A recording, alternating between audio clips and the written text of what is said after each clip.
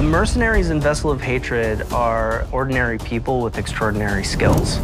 Each mercenary has its own story and quest, so you'll learn a little bit about them as you unlock them.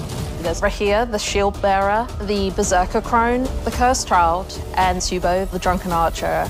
Outfitting their skill tree so that it's complementary to your character build, I think that's where the fun in the mercenary system really lies.